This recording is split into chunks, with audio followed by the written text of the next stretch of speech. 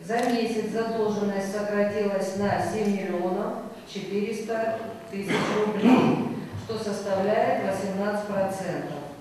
Из общей суммы задолженности 26 миллионов 564 тысячи рублей, а это составляет 80%, приходится на предприятия, находящиеся в процедурах банкротства. Задолженность по бюджету не имеется.